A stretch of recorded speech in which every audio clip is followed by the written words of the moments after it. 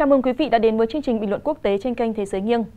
Thưa quý vị, vào hồi cuối tháng 7 vừa qua, cựu Tổng thống Nga Dmitry Medvedev đã đăng tải lên mạng xã hội Telegram hai tấm bản đồ Ukraine và ngay lập tức nó thu hút sự chú ý rộng rãi của dư luận và giới truyền thông quốc tế.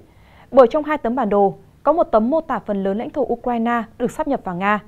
Trên bản đồ đó, tên quốc gia Ukraine vẫn tồn tại, nhưng diện tích của quốc gia này bị thu hẹp tới nỗi chỉ còn lại thủ đô Kiev và một vài vùng đất xung quanh. Phải chăng tấm bản đồ mô tả tương lai của Ukraine mà ông Medvedev đăng tải cho thấy ý định thực sự của Điện Kremlin trong cuộc chiến Ukraine hiện nay? Hay nó thậm chí còn đang báo trước điều tồi tệ hơn đối với quốc gia Đông Âu này? Chương trình Thế giới nghiêng ngày hôm nay với chủ đề Một tương lai không hề mong muốn cho Ukraine, một bài phân tích của tác giả nhà báo Lập Nguyễn. Kính mời quý vị và các bạn hãy cùng theo dõi. Một sự kiện gần đây đã gây xôn xao dư luận do nó đụng chạm đến vấn đề vận mệnh của Ukraine hay quốc gia bên lề xuất phát từ chính tên gọi của quốc gia này theo ngôn ngữ Ukraine. Chữ Ukraine có nghĩa là vùng đất bên lề. Được biết, ngày 27 tháng 7 vừa qua, cựu Tổng thống Nga Dmitry Medvedev đã đăng hai tấm ảnh bản đồ Ukraine trên tài khoản mạng xã hội Telegram của ông này và ngay lập tức nó thu hút sự chú ý rộng rãi của dư luận và giới truyền thông quốc tế. Bản đồ thứ nhất là bản gốc của đất nước Ukraine trước thời điểm diễn ra cuộc khủng hoảng Ukraine và sự kiện Nga sát nhập Crimea vào năm 2014. Ở bản đồ này, cả bán đảo Crimea và vùng Donbass đều là những lãnh thổ của Ukraine. Điều thu hút sự chú ý của dư luận là ở tấm bản đồ thứ hai mà trên đó, phần lớn lãnh thổ Ukraine được sát nhập vào Nga, bao gồm toàn bộ khu vực miền Đông, cả bán đảo Crimea và toàn bộ vùng ven Biển Đen ở miền Nam. Tên quốc gia Ukraine vẫn tồn tại, nhưng diện tích của quốc gia này bị thu hẹp phần lớn chỉ còn vỏn vẹn ở khu vực Kiev và những vùng đất xung quanh. Các khu vực phía Tây và Tây Nam của Ukraine được sát nhập vào lãnh thổ Ba Lan và Romania. Do ông Medvedev hiện là thành viên trong ban lãnh đạo tối cao của Nga với chức vụ chính thức là Phó Chủ tịch Hội đồng An ninh Quốc gia Nga, nên tấm bản đồ mà ông đăng tải được dư luận cho rằng chính là kế hoạch của chính phủ Nga muốn phân chia đất nước Ukraine trong tương lai. Trước đó thậm chí còn tin đồn là ông Medvedev sẽ trở thành tổng thống của đất nước Ukraine tương lai. Và cũng từ nhận định này, các chuyên gia phân tích quân sự nhận định rằng kế hoạch tác chiến hiện tại của Nga không chỉ nhằm đánh chiếm vùng đất Donbass tiếp sau Crimea mà còn rộng ra toàn bộ lãnh thổ Ukraine. Các chuyên gia này cũng cho rằng dường như Nga cũng không có ý định xóa sổ hoàn toàn Ukraine, mà chỉ để lại cho đất nước một vùng lãnh thổ nhỏ bé là khu vực Kiev và những vùng đất xung quanh. Liên quan đến vùng đất màu mỡ rộng lớn ở miền Tây Ukraine được sát nhập vào Ba Lan và Romania, được biết những khu vực này trong lịch sử đã từng thuộc quyền kiểm soát của Ba Lan trong nhiều trăm năm. Hiện tại phần lớn cư dân ở địa phương này theo công giáo, trong khi đa phần người dân ở miền đông Ukraine lại theo chính thống giáo như người Nga. Những người theo thuyết âm mưu thậm chí còn đi xa hơn khi suy đoán nguyên nhân của việc một kế hoạch chia cắt Ukraine được đưa ra công khai như vậy là do Nga. Một mặt không muốn tốn nhiều công sức để quản lý người công giáo và mặt khác đây được Nga coi là một điều kiện để đánh đổi lấy một vùng đệm với NATO. Ở phía dưới tấm bản đồ thứ hai, ông Medvedev ghi những dòng chữ chú thích. Đây là tương lai của Ukraine nếu xung đột tiếp tục kéo dài và một số nhà phân tích phương Tây cũng nghĩ như vậy. Thông điệp này rõ ràng được ông Medvedev đưa ra một cách nghiêm túc do nó được chính kênh truyền hình RT News của Nga đăng tải và dường như ông ngụ ý rằng kế hoạch này đã được một số người phương Tây chia sẻ. Và những ai đồng ý với kế hoạch của Nga nhằm xóa bỏ hầu hết lãnh thổ của Ukraine này Điều dễ dàng có thể nhận thấy ngay là những bên sẽ được hưởng lợi từ kế hoạch này là Ba Lan và Romania. Dựa trên lập luận này, người ta suy đoán rằng rất có thể phía Nga đã có những cuộc tiếp xúc riêng với Ba Lan và Romania về kế hoạch này. Tất nhiên, tất cả điều này chỉ là suy đoán do không hề có bất kỳ bằng chứng hay sự xác nhận nào. Trước đó, ông Medvedev cũng có một tuyên bố khác gây chấn động khi ông cho rằng quốc gia Ukraine có thể không còn tồn tại sau 2 năm nữa. Ông Medvedev đã nói như vậy ngày 15 tháng 6 trên ứng dụng Telegram liên quan đến việc Ukraine tìm kiếm khí hóa lỏng LNG của Mỹ theo chương trình vay thuê của Mỹ. Theo đó, Ukraine sẽ thanh toán cho Washington sau 2 năm. Những gì ông Medvedev viết trên tài khoản cá nhân của ông khi đó đã xem như một thông tin cho biết Ukraine muốn LNG khí hóa lỏng từ các ông chủ nước ngoài của nước này theo chương trình vay thuê và thời gian thanh toán là 2 năm. Nếu không có được LNG, nước này đơn giản sẽ chết cống trong mùa đông tới đây. Dù vậy vẫn còn một câu hỏi, ai dám nói là Ukraine sẽ tồn tại trên bản đồ thế giới trong hai năm nữa? Mặc dù người Mỹ không còn quan tâm đến nữa do hiện đầu tư quá nhiều vào dự án chống Nga nên tất cả những việc khác giờ đây không còn ý nghĩa gì đối với họ. Và sự việc không chỉ dừng lại ở đó, ngày 28 tháng 7, tức là chỉ sau một ngày khi ông Medvedev đăng những tấm ảnh bản đồ Ukraine, người phát ngôn điện Kremlin, ông Dmitry Peskov, đã công khai cho thấy ý định của Nga muốn giải phóng toàn bộ Ukraine. Được yêu cầu bình luận về những phát biểu của Denis Boshiglin, người lãnh đạo nước Cộng hòa Nhân dân tự xưng Donetsk, DBR, cho rằng hiện đã đến lúc giải phóng các thành phố của Nga do người Nga thành lập như Kiev, Chernihiv, Poltava, Odessa, Dnipropetrovsk, Kharkiv, Zaporizhia và Luhansk. Ông Peskov nói, Điện Kremlin ủng hộ lập trường cho rằng cần phải giải phóng Ukraine khỏi những biểu hiện khác nhau của chủ nghĩa tân phát xít, đó là điều cần thiết. Ngoài ra cũng cần thực hiện một số biện pháp nằm trong khuôn khổ chiến dịch quân sự đặc biệt để bảo vệ người dân các nước Cộng hòa Nhân dân tự xưng Donetsk và Luhansk. Ngày 14 tháng 7, người đứng đầu cơ quan hành chính ở Zaporizhia, tỉnh hiện tại nằm dưới sự kiểm soát của Nga ở miền nam Ukraine,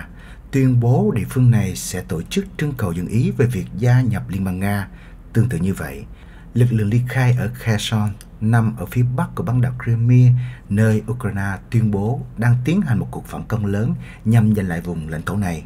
cũng lên kế hoạch tiến hành trưng cầu dân ý về việc sát nhập vào Nga vào cuối năm 2022. Hiện tại quân đội Nga đang tiến hành những bước chậm nhưng chắc trên chiến trường Ukraine và không khó để nhận thấy Tổng thống Putin dường như rất hài lòng với thế trận hiện nay. Về phần mình, Tổng thống Zelensky vẫn tiếp tục thái độ cứng rắn và nhiều lần nhấn mạnh rằng mục tiêu của quân đội Ukraine là đánh đến khi quân đội Nga đầu hàng và giành lại toàn bộ vùng Donbass và Crimea, mục tiêu mà thậm chí các chuyên gia quân sự phương Tây cũng phải thừa nhận là không tưởng. Ngoài những mục tiêu mà Nga tuyên bố công khai khi nước này bắt đầu chiến dịch quân sự đặc biệt tại Ukraine là nhằm bảo vệ người dân ở hai nước Cộng hòa Donetsk và Luhansk tự xưng, cùng với việc phi quân sự hóa và phi phát xít hóa Ukraine, thì mới đây Nga tuyên bố sẽ mở rộng các mục tiêu quân sự của nước này tại Ukraine. Theo đó, không chỉ còn tập trung vào khu vực Donbass ở miền Đông, mà còn mở rộng sang miền Nam và các khu vực khác của Ukraine. Vậy đằng sau những gì được tuyên bố ở trên, liệu Điện Kremlin còn theo đuổi một mục tiêu nào khác tại Ukraine? Mời quý vị cùng tiếp tục theo dõi. Trong một bài viết trên trang chủ của tổ chức phi lợi nhuận Carnegie Airpost có trụ sở ở Brussels, Bỉ, học giả Oliver Lajas cho rằng trong những mục tiêu của Nga ở Ukraine là kiểm soát các nguồn tài nguyên sống còn mà Liên minh châu Âu hiện đang rất cần để thực hiện chương trình nghị sự chống biến đổi khí hậu của họ. Và do vậy, theo học giả này, việc sử dụng vũ lực và biến chiến tranh trở thành công cụ được coi là cốt lõi trong chiến lược hiện nay của Kremlin ở Ukraine. Cho đến những ngày cuối trước khi Nga hành động, Liên minh châu Âu EU vẫn không tin là Putin sẽ tấn công Ukraine nếu EU, một tổ chức mà sự ra đời của nó dựa trên tiền đề là không bao giờ có lần thứ hai, đã bỏ lỡ một cuộc chiến tranh như vậy, thì liệu tổ chức này sẽ còn bỏ lỡ những chuyện gì nữa? Và hóa ra tổ chức này đã bỏ lỡ rất nhiều chuyện. Cuộc chiến tranh Ukraine trên thực tế chỉ là một mảnh ghép của một trò chơi ghép hình khổng lồ mà Nga đã tháo rời từng mảnh thông qua những thử nghiệm và sai lầm trong một vài năm qua. Trong trò chơi ghép hình này, cuộc chiến tranh ở Ukraine phải được phân tích song song với những gì mà người Nga đã làm ở châu Phi, Trung Á, Mỹ Latin và Đông Á. Nó cũng phải được phân tích dưới ánh sáng của một thế giới đang thay đổi bị mất ổn định bởi môi trường khí hậu thay đổi và cạnh tranh địa kinh tế. Nước Nga từ lâu được coi là một quốc gia gây ra rất ít về vấn đề liên quan đến biến đổi khí hậu và Tổng thống Putin cho đến nay đã tỏ ra không dứt khoát trong lập trường của mình. Chẳng hạn như lúc thì cho rằng không hề có cái gọi là vấn đề biến đổi khí hậu, lúc thì hạ thấp vấn đề này. Và có lúc thì lập luận rằng biến đổi khí hậu sẽ có lợi cho nước Nga khi điều này đặt nước Nga vào vị trí là quốc gia có thái độ tích cực với khí hậu do đã giúp đỡ các thị trường thay thế carbon bằng một số hành động gần đây những phát biểu không rõ ràng của Putin về biến đổi khí hậu và cũng như việc Nga phụ thuộc một cách có hệ thống vào hydrocarbons đã che giấu một thực tế mang nhiều sắc thái liên quan đến nhận thức của ông về những nguy cơ và cơ hội gắn liền với vấn đề khí hậu và chuyển đổi số. Những văn kiện an ninh quốc gia được công bố của Nga cho thấy từ nhiều năm trước, Putin đã hiểu rất rõ là biến đổi khí hậu và những đối đầu địa chính trị sẽ dẫn đến những thay đổi triệt để trong các thị trường năng lượng và hàng hóa. Điều này do vậy đòi hỏi nước Nga phải đa dạng hóa nền kinh tế của mình. Về năng lượng, có hai cái cạnh cơ bản xác định tầm nhìn của Nga. Thứ nhất, hydrocarbon sẽ tiếp tục có tầm quan trọng chủ chốt đối với nền kinh tế thế giới và nhu cầu lớn nhất đối với sản phẩm này sẽ đến từ châu Á. Nước Nga do vậy phải xoay trục chuyển sang thị trường mới và những đối tác mới. Thứ hai, Nga hiểu rõ những nỗ lực của châu Âu tìm cách chuyển hóa sang dựa vào nguồn năng lượng hỗn hợp dựa trên năng lượng tái tạo với nền tảng là những nguyên liệu thô có tầm quan trọng sống còn là các loại đặc hiếm. Nước Nga đặc biệt rất giàu có về nguồn nguyên liệu này. Không chỉ vậy, nước Nga hiện đại ngày nay còn đang nhắm mục tiêu vào việc khôi phục sức mạnh công nghiệp và xuất khẩu thời kỳ Xô Viết liên quan đến những nguyên liệu chủ chốt trong suy nghĩ của Putin, việc khôi phục lại khả năng này là chìa khóa để đảm bảo rằng nước Nga có thể làm nghiêng cán cân quyền lực toàn cầu sang hướng có lợi cho Nga,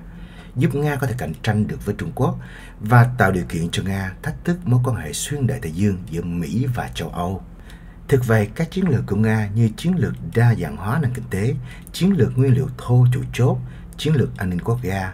và các chiến lược khu vực tất cả đều liên kết một mục tiêu cụ thể, đó là tăng cường sức mạnh quân đội và tư thế phòng thủ của Nga, cũng như đảm bảo vị thế tương xứng về địa kinh tế của nước này. Mục tiêu này của Nga đòi hỏi phải thực hiện ba nhiệm vụ phát triển cơ sở công nghiệp trong nước để mắt đến những quốc gia giàu tài nguyên mà Nga có thể kiểm soát hay hợp tác chặt chẽ theo những điều kiện của Nga và lập mối quan hệ đối tác với những quốc gia trên thế giới có nguồn tài nguyên có thể bổ sung cho những nguồn tài nguyên mà Nga có thể kiểm soát trực tiếp. Chẳng hạn Brazil nằm trong phạm trù thứ ba, trong khi Kazakhstan và Bắc Cực thuộc phạm trù thứ hai. Vậy Ukraine nằm trong phạm trù nào trong số này? Với nguồn tài nguyên khoáng sản có trị giá ước tính lên 7.000 tỷ USD,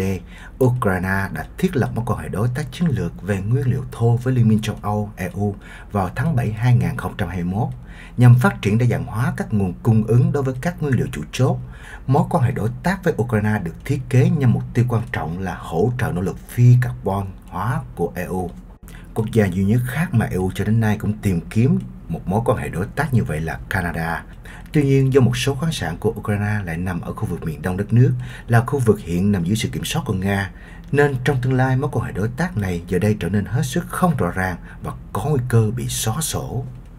Chỉ có một điều rõ ràng duy nhất vào lúc này là ý đồ của Nga trong việc kiểm soát các nguồn tài nguyên mà EU cần đến để thực hiện luật khí hậu của mình, một khía cạnh cơ bản của các khế ước xã hội châu Âu theo thỏa thuận xanh châu Âu Green Deal. Và đây có lẽ là một trong những lý do mà ít người biết đến nằm đằng sau chiến dịch quân sự của Nga ở Ukraine. Trong một bài viết chung mới đây trên trang mạng National Interest, các chuyên gia quân sự trên thế giới đã đi đến kết luận rằng không chỉ lãnh thổ quốc gia bị sâu xé, Ukraine hiện còn đối mặt với một điều khủng khiếp hơn nếu các bên trong cuộc xung đột tiếp tục mở rộng các mục tiêu của mình và chỉ cần một hành động bất cẩn thôi, rất có thể sẽ đẩy quốc gia này tới miệng hố một cuộc chiến tranh hạt nhân. Với việc cuộc chiến tranh đang biến thành một cuộc xung đột kéo dài, một điều rõ ràng tất cả các bên đã điều chỉnh các mục tiêu chiến lược của mình. Phía Nga đã từ bỏ mục tiêu ban đầu của mình là chiếm đóng Kiev và dựng lên một chính quyền thân Nga và hiện tập trung vào việc chinh phục khu vực miền đông Ukraine và sát nhập những vùng lãnh thổ quan trọng ở miền nam Ukraine. Còn mục tiêu của Ukraine là tái lập địa biên giới trước chiến tranh bên cạnh những phát biểu mạnh mẽ của một số nhà lãnh đạo chính trị đầy tham vọng của nước này và hô hào lấy lại những lãnh thổ bị mất vào tay Nga ở Crimea và khu vực Donbass kể từ năm 2014. Mục tiêu chiến lược của Mỹ ở Ukraine cũng có sự thay đổi qua thời gian. Ban đầu là lập trường hết sức cứng rắn qua tuyên bố của Bộ trưởng Quốc phòng Mỹ Lord Austin rằng Mỹ không chỉ muốn một Ukraine tiếp tục là một quốc gia có chủ quyền và dân chủ, mà còn muốn chứng kiến nước Nga suy yếu tới mức không còn có thể lặp lại những gì mà nước này đã làm khi xâm lược Ukraine. Tiếp đó là hứa hẹn của Chủ tịch Hạ viện Mỹ bà Nancy Pelosi rằng Mỹ sẽ ủng hộ Ukraine cho đến khi cuộc chiến kết thúc. Cuối cùng là Tổng thống Joe Biden, mặc dù lặp lại ý của bà Nancy Pelosi tuyên bố rằng Mỹ cũng sẽ ủng hộ Ukraine cho đến khi Nga trên thực tế không còn thể đánh bại Ukraine và vượt ra khỏi Ukraine. Các nhà phân tích và bình luận Mỹ hiện đang tranh cãi với nhau về mức độ tham vọng trong các mục tiêu của Mỹ ở Ukraine. Một số học giả nhấn mạnh đến những khác biệt về lợi ích giữa Mỹ và Ukraine và kêu gọi Mỹ nên theo đuổi mục tiêu hạn chế hơn trong khi nhiều người khác kêu gọi tiếp tục tăng cường giúp đỡ quân sự cho Ukraine trong các cuộc thảo luận về chính sách quốc phòng. Điểm bất đồng cốt lõi giữa hai phe này là nhận thức như thế nào về khả năng của chiến leo thang thành chiến tranh hạt nhân. Trong khi những người ủng hộ những mục tiêu hạn chế có xu hướng lo ngại về khả năng leo thang vượt sang ngưỡng hạt nhân, thì những người ủng hộ việc tăng cường hỗ trợ Ukraine lại coi là những cái giá phải trả cho việc nhượng bộ còn nguy hiểm hơn là đối đầu. Và những người này có xu hướng coi khả năng xung đột leo thang thành hạt nhân là rất thấp. Có thật khả năng sử dụng vũ khí hạt nhân ở Ukraine có thể rất thấp, nhưng nó không phải là số 0. Những chuyên gia phân tích theo xu hướng bác bỏ khả năng leo thang hạt nhân phần lớn đang quá đơn giản hóa nhiều kịch bản có thể dẫn tới việc sử dụng vũ khí hạt nhân. Cho dù là một cách có chủ ý hay do kinh suất, việc vạch rõ ra những kịch bản này sẽ giúp các nhà hoạch định chính sách hiểu rõ hơn về sự lựa chọn của chính sách nào có thể giúp thúc đẩy một cách an toàn hơn những mục tiêu mà Mỹ theo đuổi, cũng như thúc đẩy những chính sách mà nó khuyến khích sự thận trọng và kiềm chế hơn. Điều này không phải là không có lý do của nó. Còn nhớ vào ngày quân đội Nga tiến vào Ukraine, Tổng thống Putin đã cảnh báo rằng bất cứ sự chống đối nào nhằm vào những nỗ lực của Nga sẽ dẫn đến những hậu quả chưa bao giờ được chứng kiến trong lịch sử. Và chỉ vài ngày sau đó, ông Putin đã đặt các lực lượng hạt nhân của Nga vào tình trạng báo động cao. Những lời lẽ đe dọa hạt nhân tiếp tục được phát ra từ Nga suốt trong cuộc xung đột cho đến nay. Đáng chú ý là phát biểu mới đây của Ngoại trưởng Nga Sergei Lavrov đã cảnh báo các nhà lãnh đạo phương Tây rằng nguy cơ chiến tranh hạt nhân hiện là rất đáng kể. Bất chấp những lời đe dọa hạt nhân không hề ướp mở như vậy của Nga, các nhà lãnh đạo Mỹ và châu Âu cho đến nay vẫn giữ thái độ hoài nghi về khả năng một cuộc chiến tranh hạt nhân. Dẫn chứng nổi bật cho điều này khi Tổng thống Biden nhận được câu hỏi của phóng viên về việc liệu các công dân Mỹ có nên lo ngại về một cuộc chiến tranh hạt nhân ở châu Âu hay không. Câu trả lời của ông chỉ đơn giản vỏn vẹn một từ là không và có vẻ nước Nga sau hơn 5 tháng liên tiếp đưa ra những lời đe dọa hạt nhân mà không hề thực hiện cuối cùng đã làm các nhà phân tích phương Tây đã đi đến kết luận rằng những lời đe dọa của Nga là không đáng tin. Ngoài ra còn có một lý do khác dẫn đến các nhà phân tích đi đến kết luận như vậy. Đó là những hậu quả tàn phá hết sức khủng khiếp của vũ khí hạt nhân, nên Nga sẽ không sử dụng vũ khí hạt nhân ở Ukraine do nước này phải tính đến đòn trả đũa tương xứng của phương Tây và sự lên án của toàn thế giới diễn ra sau đó. Những lập luận rằng khẳng định Nga sẽ không sử dụng vũ khí hạt nhân dựa trên một gia đình quan trọng. Quyết định sử dụng vũ khí hạt nhân sẽ được Tổng thống Putin tính toán về mặt chính trị và chỉ đạo có mục đích. Tuy nhiên, giả định này lại bỏ qua một thách thức khác không liên quan, đó là các cuộc khủng hoảng có thể dẫn đến nguy cơ leo thang hạt nhân ngoài ý muốn là điều có thể xảy ra mà không hề xuất phát từ những ý định chính trị rõ ràng nào. Như vậy, khả năng leo thang hạt nhân ngoài ý muốn có thể còn lớn hơn khả năng leo thang hạt nhân một cách có chủ ý. Đặc biệt là khi Nga bắt đầu động viên các lực lượng hạt nhân của họ nhằm đánh đi tín hiệu về quyết tâm của mình. Và khi đó người ta không thể loại trừ những kịch bản leo thang hạt nhân ngoài ý muốn. Tổng thống Putin rất có thể xem xét đến khả năng sử dụng vũ khí hạt nhân nếu ông đối mặt với một thất bại chiến lược hay đối mặt với mối đe dọa đến sự tồn vong của chế độ của ông. Hiện có hai lợi ích sống còn có thể rơi vào phạm trù này. Thứ nhất, những đe dọa đến an ninh quốc gia Nga có khả năng bao gồm cả những thách thức đối với những vùng lãnh thổ mà Nga đã giành được ở Ukraine kể từ năm 2014. Và thứ hai, những đe dọa đến sự tồn tại của chế độ chính trị của ông Putin. Tổng thống Putin rất có thể xem xét đến khả năng sử dụng vũ khí hạt nhân nếu ông đối mặt với một thất bại chiến lược hay đối mặt với mối đe dọa đến sự tồn vong của chế độ của ông. Hiện có hai lợi ích sống còn có thể rơi vào phạm trù này. Thứ nhất là những đe dọa an ninh quốc gia Nga, có khả năng bao gồm cả những thách thức đối với những vùng lãnh thổ mà Nga đã giành được ở Ukraine kể từ năm 2014. Và thứ hai là những đe dọa đến sự tồn tại của chế độ chính trị Putin. Những người hoài nghi với kịch bản leo thang hạt nhân lập luận rằng vũ khí hạt nhân sẽ không được sử dụng chừng nào Mỹ và NATO tránh những lằn ranh đỏ mà Nga vạch ra, bao gồm tấn công trực tiếp vào các lực lượng Nga cũng như triển khai lực lượng NATO trên lãnh thổ Ukraine. Những mối nguy hiểm gắn liền với hành động vượt qua lằn ranh đỏ này giải thích tại sao các nhà hoạch định chính sách Mỹ bác bỏ đề nghị của Kiev lập vùng cấm bay ở Ukraine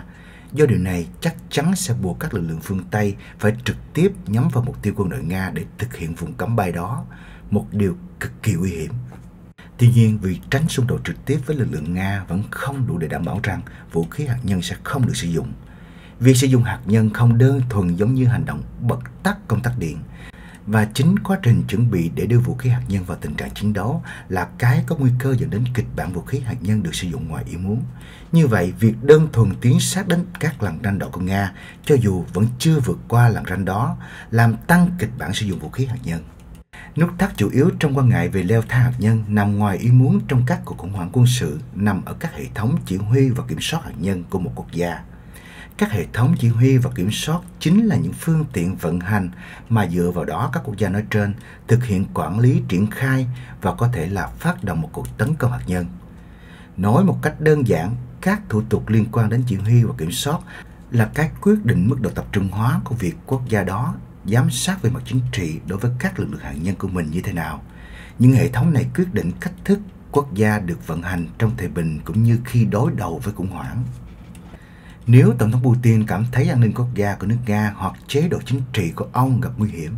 ông có khả năng sẽ tăng cường mức độ sẵn sàng của kho vũ khí hạt nhân của ông.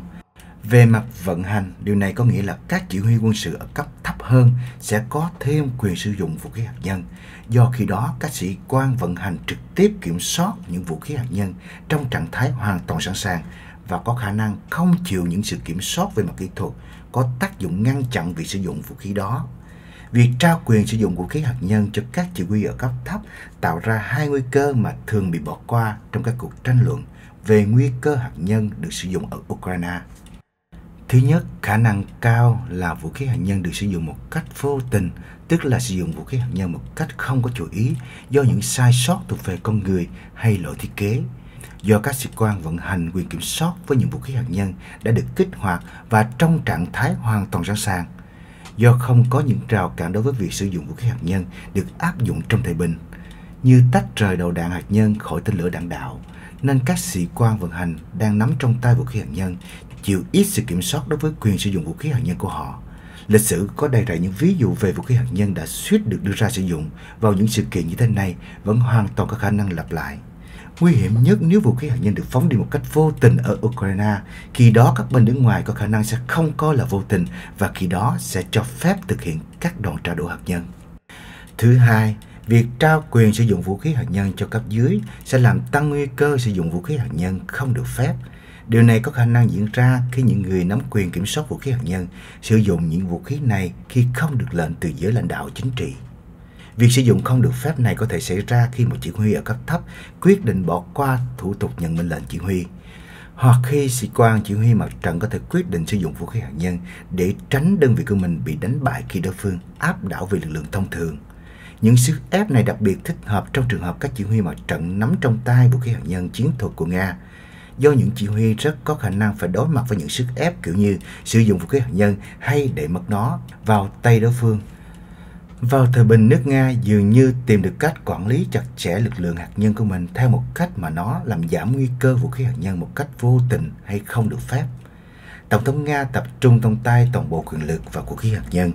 và các đầu đạn hạt nhân được cất giữ một cách rời tên lửa. Điều này giúp ngăn các chỉ huy cấp dưới trực tiếp kiểm soát vũ khí hạt nhân, chưa nói gì đến việc sử dụng chúng. Tuy nhiên, nếu một kẻ thù như NATO chẳng hạn tiến sát gần những lần tranh độ của Nga và đe dọa an quốc gia hay chế độ của Putin, rất có thể ông Putin sẽ ra lệnh chuyển đầu đạn hạt nhân cho các sĩ quan vận hành và tăng mức độ sẵn sàng của kho vũ khí hạt nhân trong nỗ lực răng đe NATO.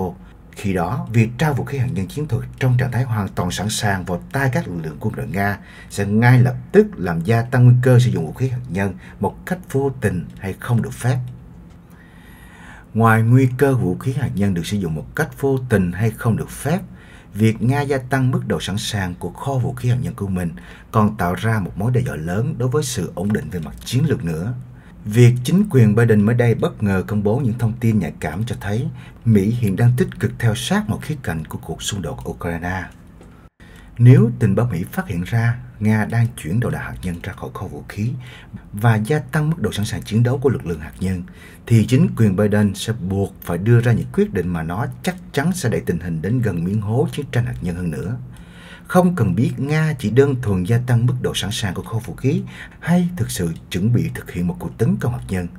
trong trường hợp đó, phương Tây có thể coi việc Nga huy động lực lượng hạt nhân của mình là lý do để tiến hành cuộc tấn công phủ đầu nhằm vào các vũ khí hạt nhân chiến thuật của Nga. Cho dù NATO sẽ thực hiện cuộc tấn công hạt nhân hay chuyển giao thông tin tình báo cho Ukraine để hỗ trợ một cuộc tấn công như vậy, thì việc nhằm mục tiêu trực tiếp vào các lực lượng hạt nhân Nga rõ ràng là hành động vượt làn ranh đỏ mà điều này sẽ khuyến khích Nga sử dụng vũ khí hạt nhân. Và một cuộc chiến tranh hạt nhân khi đó là không thể tránh khỏi. Cuối cùng người ta không thể không lo ngại với những gì diễn ra mới đây liên quan đến khả năng vũ khí hạt nhân được sử dụng ở Ukraine. Tại hội nghị đánh giá không phổ biến vũ khí hạt nhân của Liên Hiệp Quốc diễn ra tại New York ngày 2 tháng 8 vừa qua, nhà lãnh đạo Nga Alexander Trifomos đã lên tiếng tố cáo chiến dịch chống Nga của NATO đang có nguy cơ bùng phát một cuộc đụng độ quân sự trên quy mô lớn. Tommy Fox, quan chức cấp cao thuộc Cục Kiểm soát Vũ khí và không phổ biến vũ khí hạt nhân của Bộ Ngoại giao Nga, nói điều này có thể kích hoạt một trong hai kịch bản khẩn cấp được mô tả trong học thuyết quân sự của chúng tôi. Theo học thuyết quân sự Nga, hai kịch bản khẩn cấp buộc Nga phải sử dụng vũ khí hạt nhân là nhằm đáp trả vũ khí hủy diệt hàng loạt của đối phương hoặc phản ứng trước một cuộc tấn công bằng vũ khí thông thường mà nó đe dọa đến sự tồn vong của nhà nước Nga. Đến đây chuyên mục bình luận quốc tế của chúng tôi với nội dung một tương lai không hề mong muốn cho Ukraine xin được khép lại. Cảm ơn quý vị và các bạn đã quan tâm theo dõi. Kính chào và hẹn gặp lại.